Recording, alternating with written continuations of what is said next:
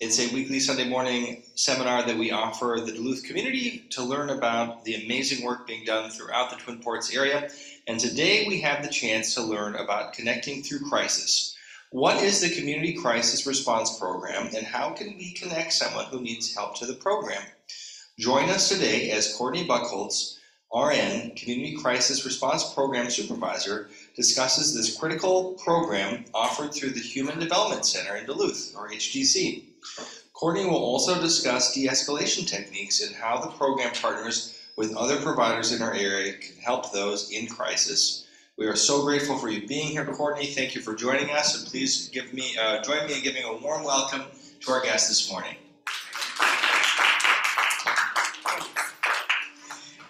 All right. Ooh, I hate using mics, so this is going to be problematic.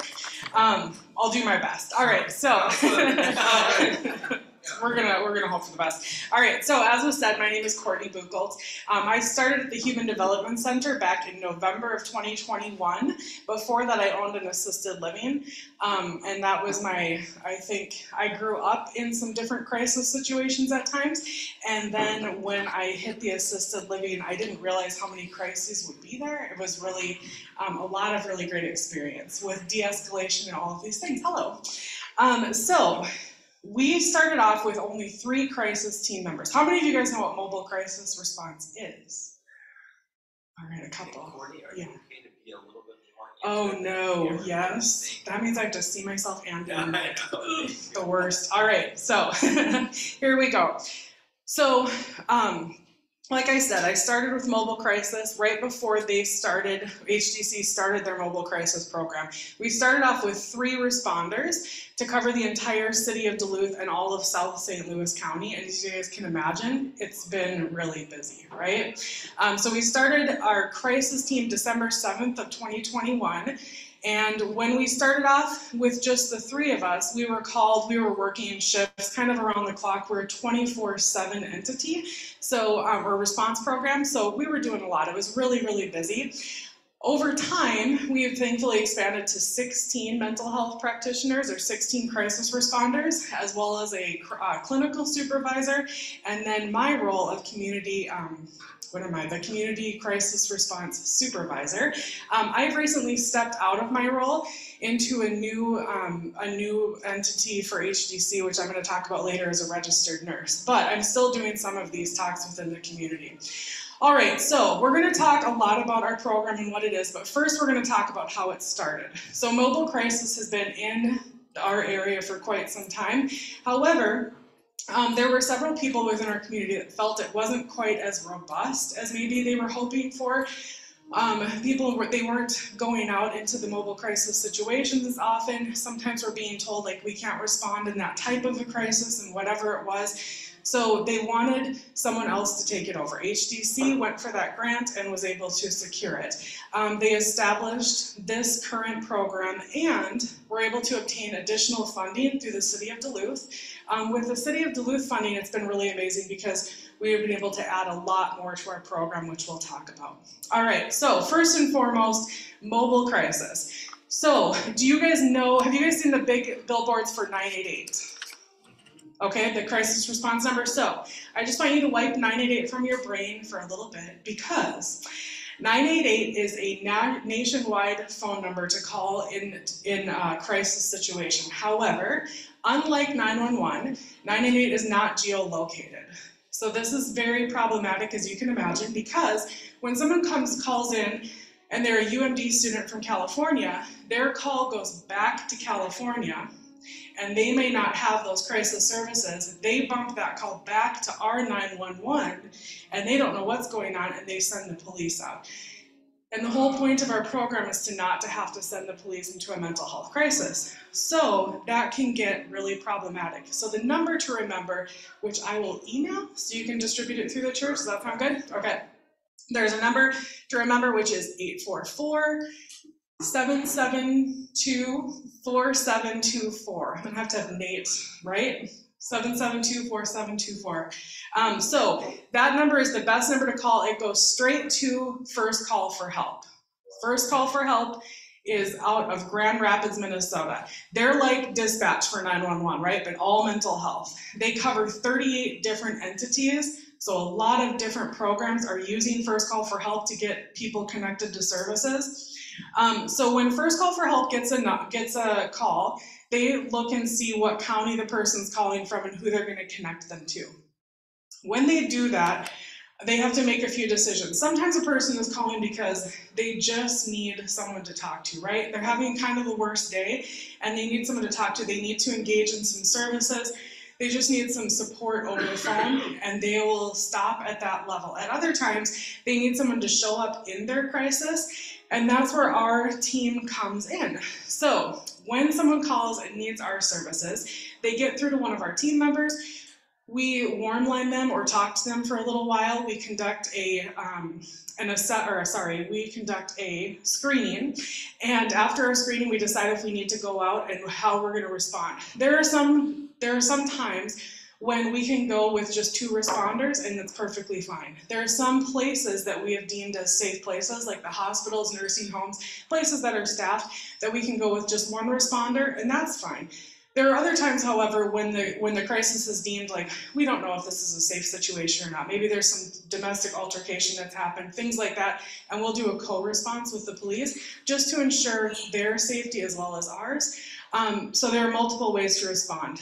When we go out to these crises, we have gone. So I personally have assessed people at Burger King, um, the holiday, uh, a couple of different Starbucks, nursing homes, assisted livings, grade schools, high schools, middle schools, the colleges. We go to people's homes. We will go to, if a person is homeless, we'll put them in the back seat of our car and drive around to warm them up while we're doing the assessment. So maybe my partner's typing and I'm driving and chatting because I can't seem to stop doing that. But we work it all out, okay? And we get people to connected with other services. So there are lots of services in the Duluth area. For as much as we wish there were more, we do have a lot of options, which is really great. So we've connected people with Safe Haven, PAVSA, um, Sometimes we'll have to bring a person to the hospital. Maybe they're doing really poorly, and um, a person can go to the hospital and get kicked out 15 to 20 minutes later because they don't meet the criteria for a hospital stay.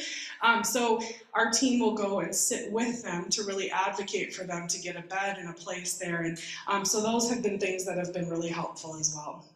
While we're doing that, while we're driving around with them, whatever it is, we're using different de-escalation techniques. Um, basically, you're keeping yourself calm in the middle of someone's crisis, right? How many of you guys have seen like the duck on the water? And the duck looks like really serene, right, and really peaceful, and it's so wonderful. But what's happening under the water?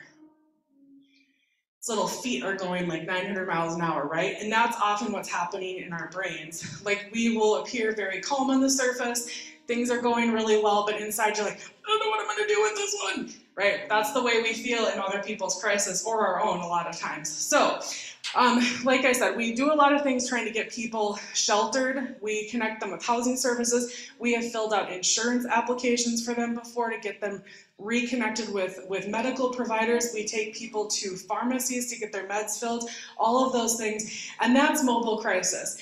One of the things that we've discovered is that within um, a crisis, a person obviously needs some therapy, right? Maybe some psychiatry, something like that.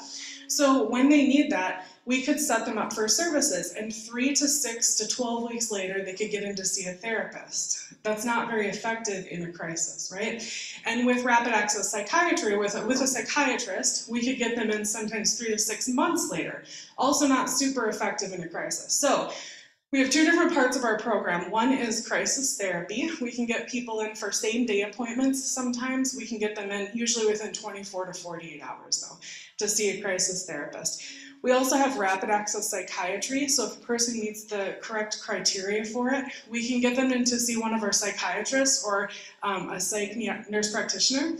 Um, we can get them then within 72, 48 to 72 hours, somewhere in there, which is also a great thing because sometimes medical providers, they're generalists, right? They might not know what the right psychiatric medication or the most beneficial one could be. So our psych providers can work with that provider to make sure there's, there's good coverage there. All right, so that's the mobile crisis piece. The other umbrella is the City of Duluth funding that we got. So without the City of Duluth funding, we would not have enough providers to be able to do the following services which is outreach and mental health welfare checks. So, outreach is kind of what I like to call crisis prevention because we can be out. Um, let's see, maybe we have a family member or a, a, concerned community member that's like, hey, this person, I know they're really starting to not do well and whatever else. We can do some outreach with them. We do a lot of street outreach, going out to the skywalks, going out, we go to the CHUM, the warming center. Um, we have somebody stationed at the library just to kind of touch base with people if we notice like hey, they don't seem to be doing very well. We can offer things like hand warmers, gloves, scarves, food, connection to resources, whatever that is. It's preventative of crisis happening, which is a really great thing. Another thing was the uh, one of the first calls I got as a new provider, and like I said, there were only three of us. One of the first calls I got was from a dad who was out in California, I believe, um, and he was really concerned. His son, his son was living with schizophrenia, and um, he was just really struggling. He hadn't been able to get a hold of him for a few days. Um, the last time the police had shown up, it had just been a really quite a volatile situation um, because of how he responded to people in uniform. And so he was wondering if we could go and check in with his son. Well, at that time, we didn't have the capability of doing what's called a mental health welfare check. And so we identified that as like, this is a really serious need. After that, we received multiple um, calls for that type of thing. So we were able to use the City of Duluth funding to go do that. It's taken a load off of police and they're really happy about it because they aren't trained in mental health. So they're really pleased with it. And it's also given us a lot more ability to get people services really quickly. Because when the police respond yeah. When the police respond they don't really have the um, they don't have all the resources we do, right? They also don't have the time that we do. Officers can spend a really short amount of time. We can spend a couple of hours with a person sometimes. Now, not every time because sometimes crisis is blowing up, but for, we do the best we can to be able to offer of ourselves a lot of time and resources and everything. So those are some of the ways that we've been able to do um, to do the mental health welfare checks. Um, we also have a registered nurse who's paid for by the City of Duluth funding. She works with the um, core team, which is the co-response team with DPD. Um, she's really great at what she does, and what's been really nice there is that it's given us a really important link between our team and DPD to be able to get really quick responses. Um, she also is able to, if we have someone that we're really concerned that this is a pretty volatile situation, um, she can look up and see maybe if it's a mental health welfare check, where are they located right now? If it is something that she doesn't walk, want us walking in blind to, she can kind of give us a heads up on some things. So that part has been really helpful. Um, that part has been really helpful as well. So as I said at the beginning, my role was community, uh, the community coordinator. I can't ever remember what my title was. So anyways, um, nor can I now. So my role was the community coordinator. The position was created because we identified a huge problem with the stigma surrounding mental health, right? When you go down and you're walking around by the CHUM or driving past the CHUM, people don't want to pull over. They're scared of somebody that's experiencing a substance use crisis. People are afraid of people as soon as you say the word schizophrenia. People are like, oh my word, that's the murderer I saw on Law and Order one time, right? This, this is not the this is not correct information. Um, a person experiencing serious and persistent mental illness, uh, things like schizophrenia, bipolar 1, those types of things um, that are lifelong conditions, it's only 3 to 4% of the, the violence that happens in our in the United States is committed by people living with serious and persistent mental illness. That's a completely different statistic than we would think of, right? Otherwise, um, because of the way the media influences things. So in saying this, I've been able to do a lot of community education. I've talked to different church groups. Um, I've talked to different entities up at different colleges and just offered a lot of information as to what mental health is, what mental illness is, and what mental wellness is. Because without knowing those things, people are going to be responding in a state of fear which means maybe they're going to drive off. Maybe they aren't even going to smile at the person that's struggling out on the street because it's too frightening for them, whatever that is. So we're hopefully with that education able to um, get people to respond in a little bit more compassionate way because that can be hard when we're afraid to respond that way. And that's really what stigma is, is just a fear of what we don't know. Um, so like I said, it's a lot of community education. Um, how many of you have heard of mental health first aid? Youth mental health first aid. Yeah, so we offer that. Um, I am certified in both. I think I've taught around 150 now. Um, but the really cool thing is, is it's been going so well and people want it so badly that they're actually going to be training four to five other um, team supervisors and stuff at HDC to, to be able to lead out in these programs because we want it to be this really big city-wide, area-wide training that we can offer. It's a really, really great program. We talk a lot about different types of mental illness, how to how to support your own mental health and mental wellness, and then a ton of de-escalation techniques. Um, a little bit we'll talk of which we'll talk about today, but um, that it's a very robust program. I think it's about eight hours but it's a good time. Plus, you get to hear me for eight hours, which is everyone's dream, I'm sure. Um, so, I know it's a good time. So, um, we also, I also work really hard to increase the visibility of our program because if you don't know these services are out there, you're not going to call. And if you're afraid because of the stigmatization around mental health, you're going to call 911 because you're like, what is happening with this person? So, trying to just kind of increase our visibility in the area is really helpful.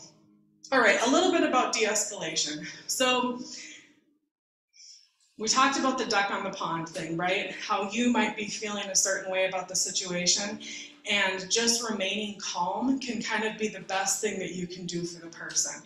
When a person starts yelling and their voice is getting up and their body posturing, have you seen that happen where the person goes, right? And gets big around you to kind of show how, how in charge they are of a situation? making yourself smaller, going quieter, it's gonna they're gonna decrease their volume often. This isn't every time, but they're gonna decrease their volume because they want to hear what you're saying. So you just keep going lower and lower, and pretty soon they're getting lower and lower. And as it's happening, things are calming. Another thing is, I know this is horrible, but if they smoke, offer them a cigarette because what does it do? That calms you down. You're taking a big breath right? You're taking a deep breath. Now, it's not a, an HDC legitimate thing, but I carry cigarettes with me. I also carry lighter because uh, part of a crisis can be when you don't have a lighter for your cigarette and you just really need it at that moment. Um, so I carry lighters with me. Um, when, when we are trying to do de-escalation, we really want to just listen to the person. What is their struggle? Now, their struggle might be something that we are like, why is that even a thing? Like that's I deal with that every Wednesday. Like that's not a big deal, right? To them, this is really intense. This is their crisis. So listening, having a lot of empathy and compassion, which I'm sure you guys are all great at, those are the most helpful things you can offer somebody in their crisis.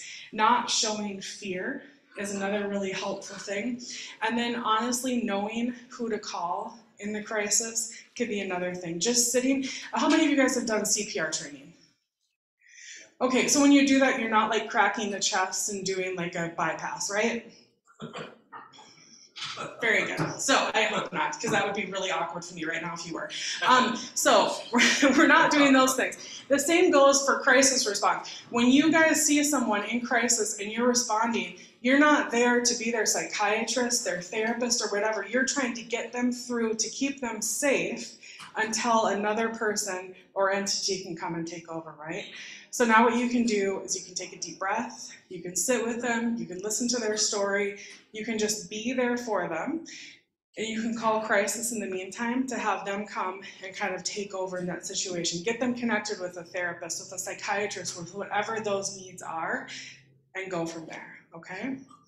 Um, so I need water, and then I'm going to tell you some stories. Um, so as you guys can probably see, I talk a lot, and um, I could probably talk about crisis all day. I like it. It's what I do. I've moved from our crisis response program into crisis stabilization. So HDC, Human Development Center, has three or is coming up with three crisis programs now. We currently have mobile crisis. Um, the newest program we just opened is Yellow Leaf, uh, which is like, have you guys heard of Birch Tree? Okay, so it's like Birch Tree, it's crisis stabilization. We have 12 beds, it's 24 seven and a person can stay up there for up to 10 days. Um, it is grant funded, so insurance is great, but we also have grant funding so that we, we aren't going to be turning people away to, from getting that service. Well at Bert, or well at Yellow Leaf or Birch Tree, either entity, Um, while they're there, they can receive, they can meet with a therapist, they can meet with a psychiatrist, um, we can do some medication changes, but mostly there are a lot of therapists and groups there to just really be able to offer support while a person's really struggling, maybe with self harm or self um, thoughts of suicidal ideations, different things like that. So we want to work with them there. Another really exciting program is the urgent care. Um, have you guys ever heard of the Clarity Project? Okay, so Clarity Project has been going on for I think eight to 10 years. They've been talking about it. This is an urgent care behavioral health system. So just like instead of going to the emergency room, you're going to go to the urgent care at your local clinic, we're going to be in a, like a one-stop shop for behavioral health urgent care. It's going to be Monday through Friday, 8 a.m. till roughly 8 p.m. We'll have a ton of different services offered, but mostly if a person isn't meeting the qualifications for emergency room or a hospital stay, they can come there. Our crisis team is going to be located there. It's going to be a safe place that they can kind of come and just take a deep breath. We can connect them with services and a safe place to be for that time. Um, so that's opening in, I believe, July at this point. So it's kind of the trifecta of crisis. Not many other states that I know of have programs that are this robust. So the fact that Duluth does is a really, really encouraging thing. So, like I said, I could talk about crisis all day, um, but it's not super fun to hear all the data and all this information unless we have stories behind it. So, here you go. Uh, a couple of my favorites. My very, very first day of responding to crisis, um, I actually, let's see. So, like I said, we started in November. We had all these virtual trainings, right, which teach you nothing, to be honest. Um, you're just sitting there like clicking through, like, oh my gosh, this is 12 hours of my life. I can't believe it. And you click through. And you're like, now apparently I'm like a crisis responder, so I'm certified for this, and here we go. So the night before uh, my first day of response, I got a phone call from a teammate who's no longer with us, and she said, This is the worst job I've ever had in my entire life. You need to leave now. This is so bad, don't come in tomorrow. You would not believe the crisis situations and whatever else. And I was like, oh my goodness, you know, that does not sound great. So I went in at 8 the next morning because I actually like crisis. And so I went in at 8 the next morning and right off the bat, they were like, there's this guy, we brought him up to Birch Tree for crisis stabilization. He ran away and now we can't find him and whatever else. So we went around, we went through our day and whatever, and about, well, probably about three o'clock that afternoon, he called us.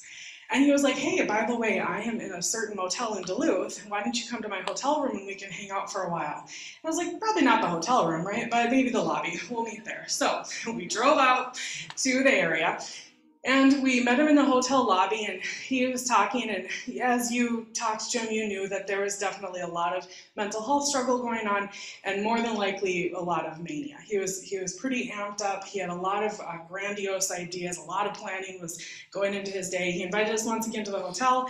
I said, "Well, how about Burger King? It's right it's right here." So we walked over to Burger King, and as we're there there are so many things that I did wrong because that's crisis. You do a lot of things wrong and then you learn from that. So I sat on the inside. So you're supposed to have an escape route. That's number one. I didn't.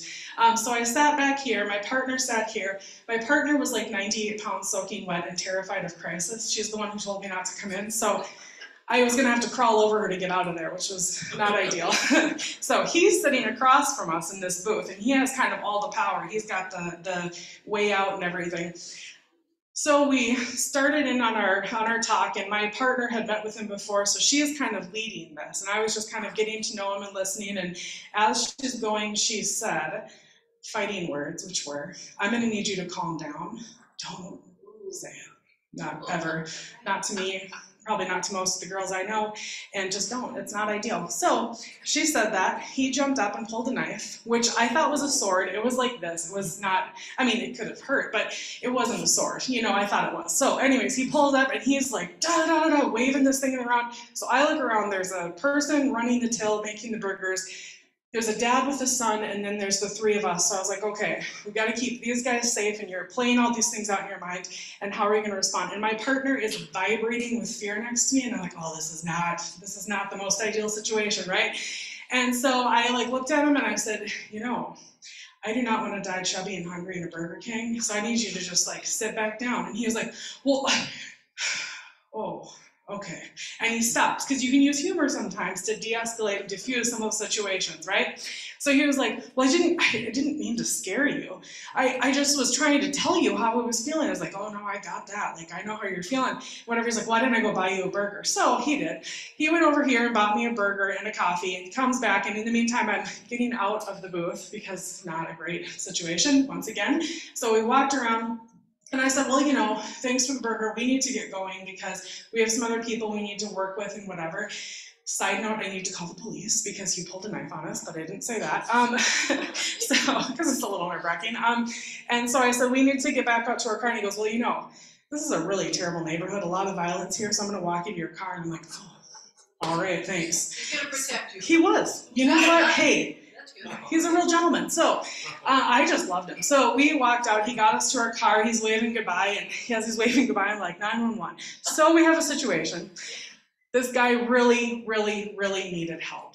He needed help for his mental health. He was going to hurt himself. He was something was going to happen. So we went back to the office. My partner went home. Bless her heart. She probably needed to de-stress for about nine hours. It was rough. Um, I ended up responding back with the police. We got to his hotel room. We knocked. He identified that he had another weapon. He had a gun, he said. So we ended up making a safety plan that he would call me if he needed anything, and we were able to, to get out of that situation.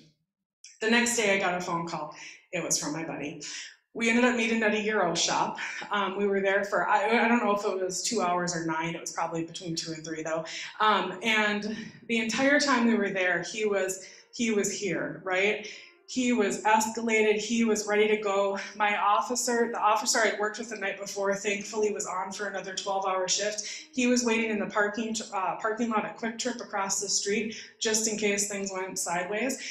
Um, the plan was is that I would get him to the emergency room. He needed hospitalization. He was very, very ill. Um, let's see, we talked, like I said, for three hours. As we were there, he was introducing me as his friend, the stripper nun. And I'm like, no, but I just go with it because I'm like, what else am I going to do? So I'm just, yeah, hi, and mortified a little bit. So there was that. Um, and so we finally got to the point where he trusted me enough, and I said, Look, I have this friend, he's an officer. I know you're not comfortable with that, but what would you say if we could bring you out and get you to get some help and everything? So he said that he, he thought that would be all right. So we got out. To make a long story short, he ended up, he wouldn't get in the officer's car. He finally would get in my car, so the officer said, Why don't you bring him to the hospital? Another side note, put people in your back seat, not your front seat. I'm afraid of getting choked out from behind, so I thought I'm gonna just you know, have him in the front with me, but he took the wheel when we were in the tunnels, which was another exciting part. He also wanted to regulate the music, and he was really into like the most horrific, like I don't know what kind of music it was, but it was very intense, like uh, mosh. What is it called? A mosh pit? Yeah, like mosh pit type of music, super loud. And I just roll with it. We got into the, we pulled into the um, emergency department area, and they closed the big doors behind us. And that's when it all kicked in for him. And he got mad and he got scared and he's in my car and all of a sudden cops are coming out and security guards are coming out and the doctors are coming out and the nurses are coming out. And i was just like look i will hold your hand the whole time. I will stay with you. I won't leave you i promise. And so i'm standing there i'm sitting in the car with him. Finally he, he says okay. So i get out of the car and i was like if you guys could just like just step back for a second. I'm gonna go. I told him I'd open the door. So I open the door, I hold his hand. A nurse goes to try to put a mask on. I just feel like it's not the time. But, anyways, she's trying to put a mask on. He gets more upset. We finally get him into the room, and like I said, everyone is scared, right? This is a really heightened situation. This guy is, he was like 6'4, 6'5. He was a really big dude. And they thought they were gonna have to do this takedown. No one is talking kind to him. He's posturing like I showed you before. He was making himself big, but I'm holding his hand the whole time, right? And as I'm holding his hand, his whole hand is just vibrating because he's terrified of what's about to go down, right? He knows. He's been through this before. People are not kind in those situations. So we get into the room. It's one of those big glass doors. Everybody's got their badges and their, you know, whatever taser things are on their hip and all that stuff. And I'm standing by him, and the doctor said, Well, we need to give you some injections, so I need you to take off your clothes. Side note, you don't have to take off people's clothes to give injections, but I don't think he was aware, so he kept pushing that. And finally he said, Do you need us to take off your clothes for you and take you, to, you know, we'll have to, well, we can take you down and take them off for you. And it was like, Oh my gosh, this guy is up to here, right?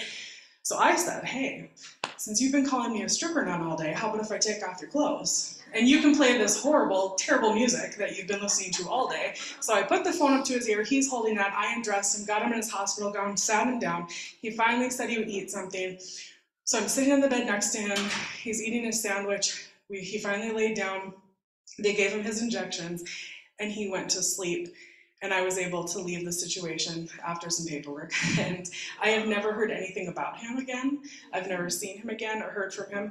And it's a hard thing to work really hard for someone's betterment and not be able to know the end of the story, right? All right. I know we're really close to being out of time, but I have one more story for you. Um, how about a, a different ending to that one? Isn't that the worst? We were all looking for that other ending. So was I. I still am, right? All right. About a month into crisis work, I got a call from a uh, law enforcement officer with DPD who was way out in another part of town. And he said, Hey, I've got a mom here. She says she poisoned her kids. And when I got here, we, there's no signs of that or anything like that. But she's not doing well at all. We need help. We can't get a hold of CPS. We don't know what to do. So I said, like, and he said, the kids are starving. I tried to make an eggs, but there's no food and there's no clean pan in the house. It's just, it's really a mess. So I went over, I picked up Subway on the way for the kids. I went over there, I set them up in the dining room, such as it was. The house was just, it was in rough shape. Um, I set the I set the kids up with food and I walked around and the mom was in no condition to be doing an assessment. She needed emergency room care. Um, so it was decided that they would bring her to the emergency room and I would stay with the kids. So there were three kids. Um, and my partner ended up coming out and kind of helping because I said, We've got to clean this house. Like, number one, they had a corned beef. The kids didn't know how to cook. They had taken a corned beef roast out of the freezer and microwaved it, and then they had one of those like electric saws halfway through it sitting on the table. There was just food and like garbage and refuse just everywhere. There, they hadn't been cared for in a while. You know, it was really rough. Um, so we ended up getting there and cleaning, and we were playing with the kids and doing all these things. And in, as we're doing it, the middle daughter is really into it. She's going to show us what a great cleaner she is, so she's doing that. The youngest kid, he, he had decapitated like three stuffed animals because he played with them so hard. So I was sewing their heads back on because I also carry a sewing kit. Um, so uh, it's like Mary Poppins. So I'm sewing the heads on these bears and whatever else it was. But the oldest sister is nowhere to be found. After she realizes we're coming into her house, she wants nothing to do with us. So she goes upstairs. And slowly, people start coming, she starts coming down. Pretty soon she's sitting on the landing and she's just watching us. And we're we have the house clean now, things are organized. It's been about three hours.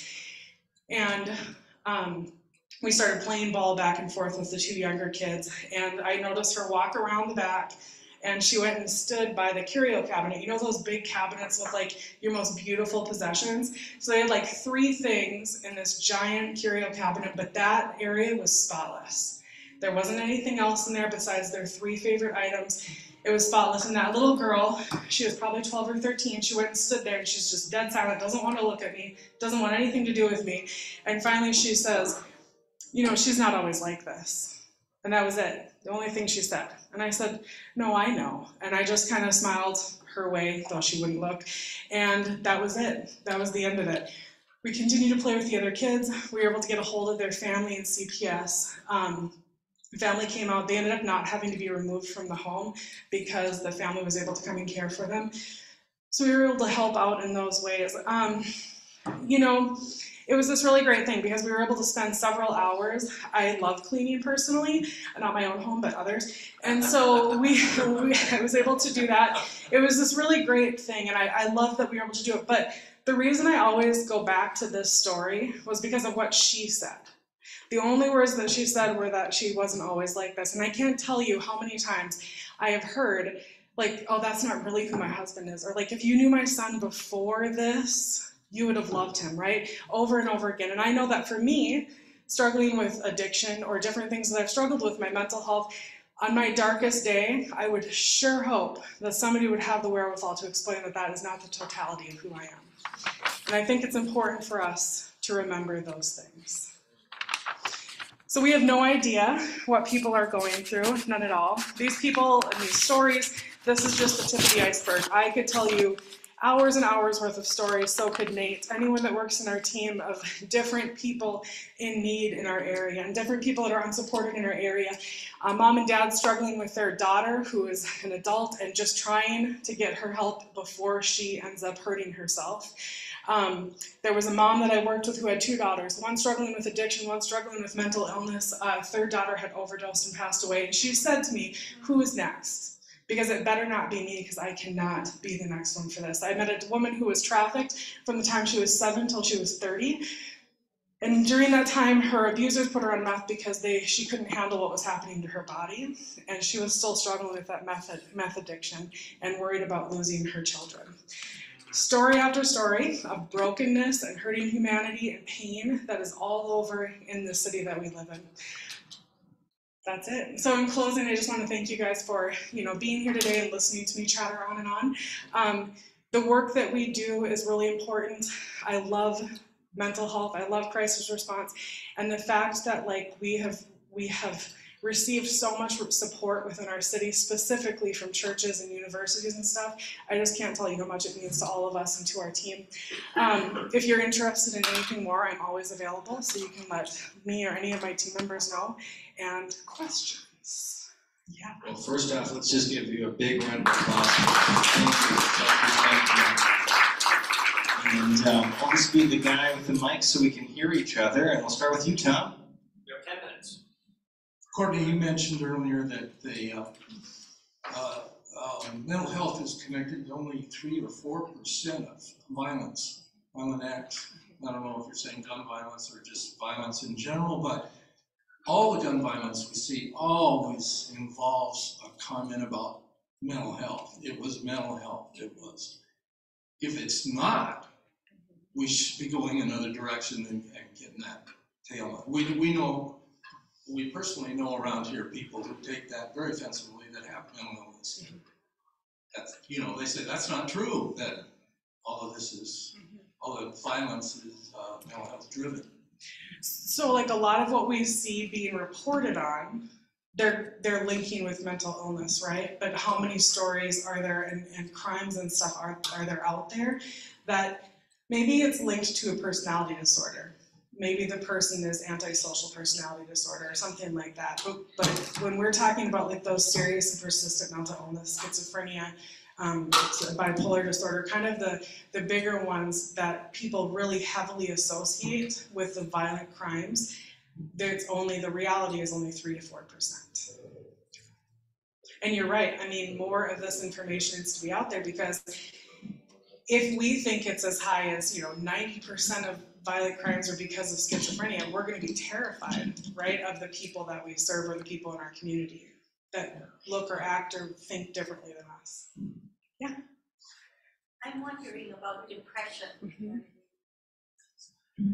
I'm wondering about depression and how you handle people who are uh, suicidal Mhm. or on the verge of suicide.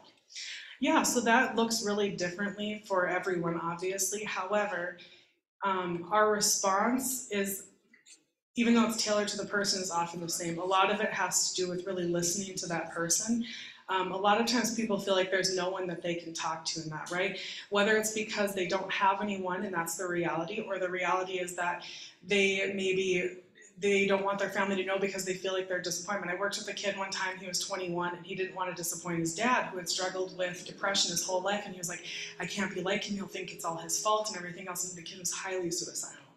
Um, so a lot of it is that, is that there's no one else in their life for them to talk to. So when we come in and we're, we're talking, usually the floodgates open within like the first five minutes and we start finding all the reasoning behind why they're feeling the way they are. And then just reminding them that this is much more normal. Uh, we can normalize these things for them. It's much more normal than they believe it to be. And then, like I said, connecting with services. A lot of people will say no to a stabilization or the emergency room, obviously. If it's that, if it's a really high ideation with a plan and all of those things, then absolutely we get them to the emergency room and they, they're hospitalized. Um, but if they aren't accepting any of those services, we'll safety plan, and that's often when we see um, them more willing to use like our therapists. And just to have another person to talk to. Also with crisis, it's not a one and done. So we try to follow up with people, especially um, so with the first story that I mentioned, um, he ended up I'm being hospitalized, and I don't know how that turned out. With the mom that I mentioned, we worked with her for months afterwards, um, making sure she got to treatment and a lot of different access to supports that she needed. So. Um, you know, we're able to stick with people, especially people at high risk for suicide, for quite some time. Yeah. No problem. Uh, thank you so much for all of this. I apologize if you've already said, uh, the answer to my question, but I heard you talk about sponsors. Are the city and county and state and federal government involved in that support? Yeah, so our funding comes from largely from the Arrowhead Behavioral Health Initiative, which is like state and county funding. So a big chunk of it comes from that, and then additional funding we received was from the city of Duluth. And so we received quite a bit of funding from there, and every entity that we've worked with has been unbelievably supportive. I mean, the police, I've gone, I've done tons of training for fire and safety for all of DPD officers. We've done a lot of collaboration and everyone has been really on board with it, which has been really great. Cause we, you know, you always worry about like, what if we're not meeting these needs or those needs and we're gonna lose funding? But so far, it sounds like everything is good. And do you have a multitude of partners then besides the ones you mentioned? I'm thinking of, of other entities. Yeah, so financially, no, but yes, we work with Chum a ton. So we go and do work at the Warming Center. Chum staff call our team directly um, to get help for in connecting people with services or getting help with de-escalating someone. Um, like we do under our outreach funding, we have someone located over at the Chum in the evenings, and that can kind of help um, on the nights that we're able to, because sometimes we're really busy. But when we can, we have someone over there, and that can help with some of that crisis prevention um, you know, not not everyone got into volunteering at the Warming Center for the de-escalation and mental health aspect. They just wanted to help people, and so we're able to deal with some of those things and make it maybe a little less scary. Thank you. So we got time for a couple more questions. Kathy? Cortney, again, I wanna thank you for coming. I helped to arrange you and then I had to go to the choir. Oh, But anyways, I've been involved with the Dementia Friendly Duluth Project over the last couple of years. Uh, Can you talk about if you get, uh, it calls with folks that have dementia and how that may or may not be different from the other calls and what kinds of resources then are available for those folks and families? Yeah, absolutely. Um, so that, so like I said, I did, I owned an assisted living for ten years. Prior to that, I worked in, in elder care for ten years. So it's been twenty years of that. And uh, a lot of my crisis training came from working with people who are sundowning with dementia Alzheimer's. So there, it is a different thing, right? Um, but we are able to go out to assisted livings and nursing homes when somebody is really dysregulated. Now, sometimes there are cases where when the staff working is one that they like or trust, maybe if they don't even know them, but they know it's a friendly face, um, and how that person's presenting themselves, that can be enough. We can kind of talk them through that. But when we respond specifically to those types of cases, I think the biggest thing is is in your body stance because they may not get all the words that are coming out of your mouth even words of comfort but they can hear your tone they see your face and your body stance and some of those are some of the biggest ways that we use to de-escalate in dementia cases and alzheimer's cases um, so you know, in the ways that it looks different is because the resources aren't as robust. So, like the stabilization centers, we have two that are 24 beds, um, but we, we don't have CNAs, so they can't help with ADLs and those types of things. However, we are well connected with other entities like geriatric psych um, and those types of beds that can be helpful. The problem that I've noticed, not within crisis, but when I owned the assisted living, was the fact that there's a lot of over medicating that can happen in some of those, right? And so I think it would be great if we had a crisis stabilization specific to dementia care. Um, you know, that would be really helpful. But the the resources are are limited in that area at times. But we can definitely go out and help out with the staff. The other thing that can be really helpful are the mental health first aid seminars. Um, I've given them to a lot of group home staff, and they've felt like really a lot more supported than in their roles. Um, because maybe you've worked in group home care for 10 years, but if no one's talked through what mental illness and, and these different mental illnesses actually feel like, and how it presents and stuff, then, you know, it makes it harder to work with sometimes. We have uh, two questions here online. One is from Ron. Is Birchwood going to reopen? Do you know? So Birch Tree is, cu- is currently open. Um, their crisis stabilization as well, they just moved locations. So we, um, took over that building. Yellow Leaf, our HDC's crisis stabilization is where they were at Burning, is it in the Burning Tree Plaza? Um, nope, It's kind of up there. Thank you. Oh my Lanta, you guys need directions, that's my own crisis. Anyways, um, but yes, we took over that and then, um, the birch trees moved over to a place on Matterhorn Drive. So we're actually really close to each other, but they are currently open and accepting. Excellent. Um, I have one last question from online here. This is probably the perfect one to close with, and then I know Cortney, if anyone does want to talk one-on-one, is happy to stay up front and obviously, uh, well, we'll close today with this great one though, which is, can you tell us a little bit more about the journey with Duluth being able to, you know, see a need and only have three mental health crisis responders and now have so many? Is that a lesson that other uh, communities our size could learn from? Are there other recommendations you would have so that other cities can go in the direction that we're going, where even though we're not where we need to yet, or at least in that direction with getting more support and grant funding and partnerships? Yeah, I think the biggest thing is is getting the word out there of how much need there is for a mental health response. I think that's a really big thing. So a lot of community education. Um, the way that we received funding, like I said, there were there was also the there was already the funding there from Arrowhead Behavioral Health Initiative. We just got that grant eventually. The city of Duluth funding came in so helpful as we were able to get way more staff, and that's what you need to be able to have a way more robust program. So a lot of places have a mental health a mobile health response uh, crisis program, but it's maybe only one, two, or three people. Ours is now, like I said, 16, and a lot of it is because we were able to obtain more funding because we showed all the different ways that we're responding in crisis. Um, and it's, you know, like I said, when you have the backing of the police, um, the sheriff's office, the mayoral um, office, all of those things, it's really helpful as well because they're seeing that need be fulfilled. So in other communities, um, I know that I live in Two Harbors, and even there, they're trying to get a more robust response with mental health uh, uh, welfare checks because they've identified that as a need. And as they do that more, and the police realize that's more available, they're more than happy to recommend that program because they know we have the resources that they don't. Well, on that note, thank you so much, Cortney. Let's give a huge round of applause